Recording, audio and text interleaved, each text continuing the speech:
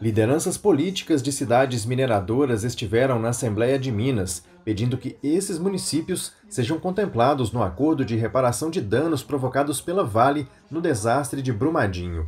Embora não tenha sido convidada a participar da elaboração do termo, a Associação dos Municípios Mineradores de Minas Gerais e do Brasil, a AMIG, elaborou uma nota técnica sobre o conteúdo do acordo, na qual aponta uma série de ressalvas ao texto. Uma delas, as deduções, que podem reduzir o montante de 37 bilhões de reais em compensações previstas. O acordo econômico é estimado em 37 bilhões 689 milhões 767.329, que corresponde à somatória das obrigações definidas no termo do acordo e os valores indicados pela Vale como despesas já realizadas nas ações de reparação socioambiental e socioeconômica, e a título de antecipação da indenização dos danos coletivos e difusos. E, é, e esse acordo tem vigência por 10 anos. Já nesse para, primeiro parágrafo, já indica a dedução desses 37 bilhões. E vamos a elas. Então, devem ser deduzidos deste montante os gastos realizados pela Vale até a assinatura do acordo, que já totalizaram 6,3 bilhões. O que, que, é, o que, que é esse 6,3 bilhões?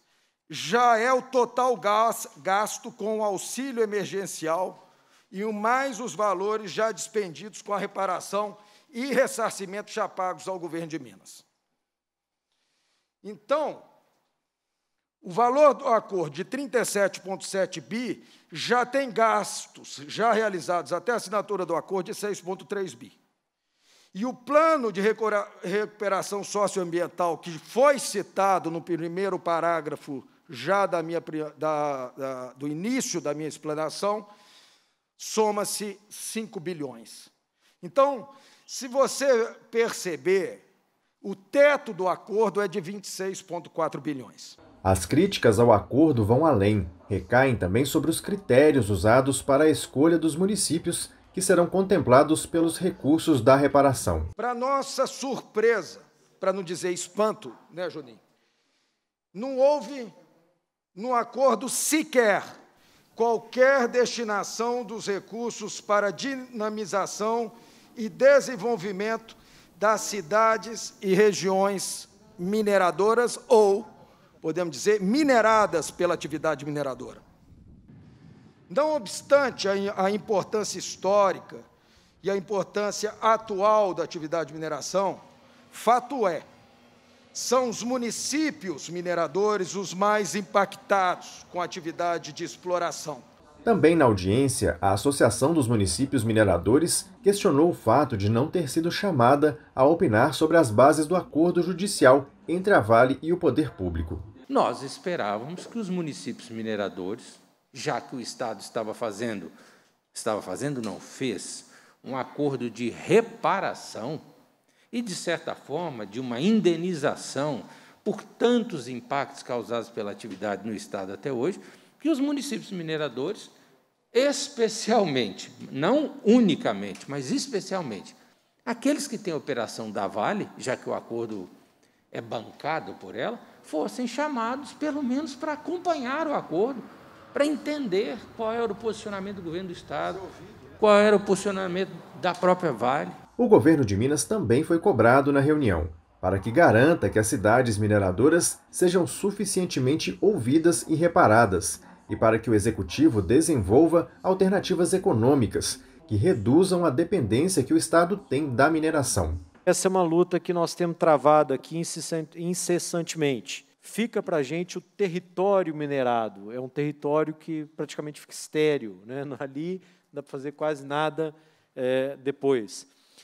Temos, ao longo da história, uma enorme dificuldade de atração de outros empreendimentos seja pela atração da mão de obra, é, que fica concentrada nas mineradoras, seja pelo custo que ela impõe às cidades. Então, essa é uma dura realidade. E, de fato, distribuir igualmente essa riqueza, é, ela acaba sendo o contrário do que a gente entende como equidade. Porque equidade é tratar os desiguais desigualmente. E há aqui, claramente, uma relação de desigualdade com esses municípios que acabam ficando com todo o passivo ambiental, com todas as questões econômicas. Há aqui, portanto, um apelo dirigido ao governo de Minas para que tenha um olhar diferenciado para as cidades mineradoras. Por uma razão muito simples, é porque o nosso recurso não é renovável. Nós não plantamos café, nós não plantamos soja, nós tiramos uma riqueza do, do terreno, do território, minera o território e infelizmente essa riqueza ela não nasce de novo, ela vai-se embora. E eu cresci vendo os trens da Vale descendo, cheio de minério no vagão, e eu nunca vi ele voltar cheio. Ele desce, desce cheio e volta vazio, sabe? Essas considerações, Bernardo, nos dão a certeza absoluta que é justo, coerente e razoável que, a partir do momento em que o acordo for firmado, parte dos recursos sejam destinados para a dinamização e o desenvolvimento econômico das regiões, das cidades mineradoras, visando a diversificação econômica, visando que a gente comece a iniciar o fim da minorodependência.